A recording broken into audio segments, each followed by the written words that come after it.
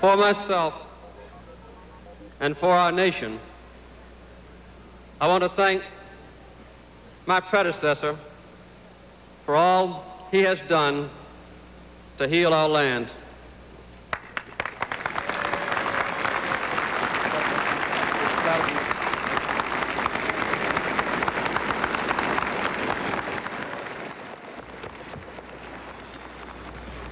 In this outward and physical ceremony, we attest once again to the inner and spiritual strength of our nation.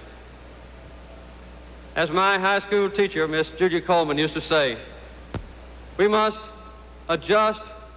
to changing times and still hold to unchanging principles. Here before me is a Bible used in the inauguration of our first president in 1789. And I have just taken the oath of office on the Bible my mother gave me just a few years ago, opened to a timeless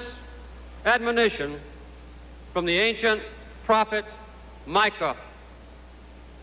He has showed thee, O man, what is good,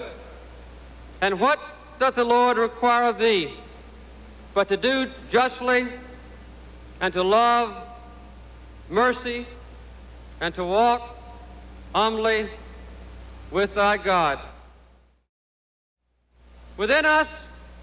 the people of the United States, there is evident a serious and purposeful rekindling of confidence. And I join in the hope that when my time as your president has ended, people might say this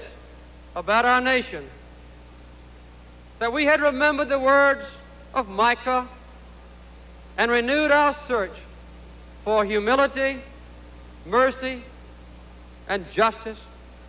that we had torn down the barriers that separated those of different race and region and religion, and where there had been mistrust, built unity with a respect for diversity, that we had found productive work for those able to perform it, that we had strengthened the American family, which is the basis of our society, that we had ensured respect for the law and equal treatment under the law for the weak and the powerful, for the rich and the poor, and that we had enabled our people to be proud of their own government once again. I would hope that the nations of the world might say that we had built a lasting peace based not on weapons of war, but on international policies which reflect our own